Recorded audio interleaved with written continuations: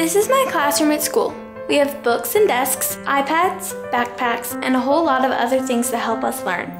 South Sudan is a place in Africa that's really far away. Their schools look a lot different than ours. They don't have a lot of things in them, and sometimes the walls are made of just dirt. But the kids in South Sudan are just like us. They're smart, and they love to play sports, to dance, sing, and learn music, read books, There aren't very many schools in South Sudan, so most kids have to stay home and work. But this week we can change this. This week we can build a new school in South Sudan. Each day you bring money to VBS, that offering helps build a new school. And a new school means more room for more kids. God tells us to love other people, and when we build a school for kids who don't have one, that's showing God's love.